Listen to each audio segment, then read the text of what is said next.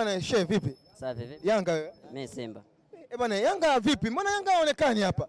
Kaka vipi? Ah, shwari. Mmejificha kaka? Ah, tujifichi. Kaka ni kipigo tu kimoja kaka mnajificha. Hatuwezi kujificha. Hapo unaonekana mfupi yani, unajua ni mrefu sana ndugu yangu eh. Yaani hapo unaonekana vipi naongea na nani huyu? Eh? Bwana unaongea na Pierre Nkurunziza. Ah, Pierre Nkurunziza. Eh, Hivi na shabiki wa Yanga. Pierre Nkurunziza. Pierre Nkurunziza. Eh. Hilo jina la Kirundi, wewe ni Mrundi? Ah, hilo jina ni jemedari Burundi, huyo alikuwa rais wa Burundi. Nani alikupa hilo jina? Ah, hilo jina nimelipenda tu. Kwa wewe ni Pierre Nkurunziza. Eh. Hivi unajua maana ya Nkurunziza? Eh. Maana yake nini? Kwa hilo jina la Kifaransa hilo. Ah. Eh. Bwana Pierre, hesabu tamu. Gamondi afunguka, nahodha Al Hilali atia neno. Juzi wakati tunacheza na wale jamaa wale wa Sudan, nahodha wao yule uh, Abdulrahman yule jamani mchezaji wa Al Hilal. Unajua Al Hilal imepangwa nao kundi moja, unajua hilo? Eh, ndio tunaanza nao. Amesema hivi ni lazima awafunge. Ah, hayo maneno yake. Mm. Sisi Yanga hatuimbi taarabu, hata Simba wanajua. Sisi hatuimbi taarabu, Eh. sisi ni mpira.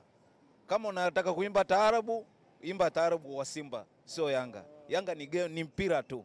Ukitaka mpira njoo Yanga basi, alafu uje uwanjani uone shughuli.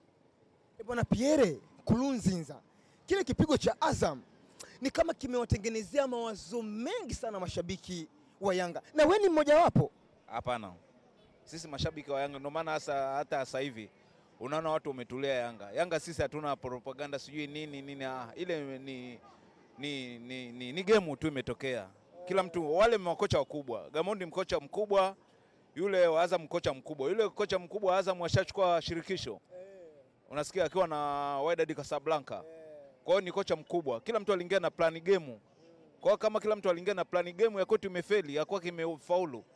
Eh, kwa hiyo ni game tu imetokea basi, ndio maana tumenyamaza.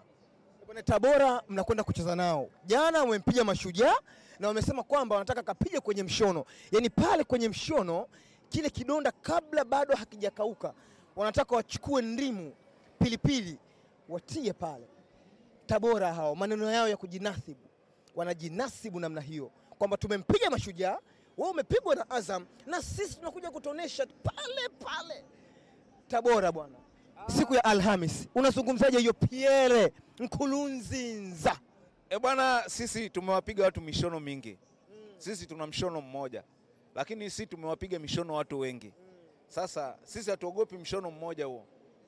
Yeye aje kwa tahadhari, anacheza na mabingwa. Na mabingwa.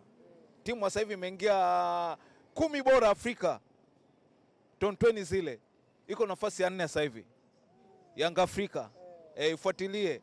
Kwa hiyo sisi kama yule aingie kwa tahadhari. Eh, hii ni ligi kuu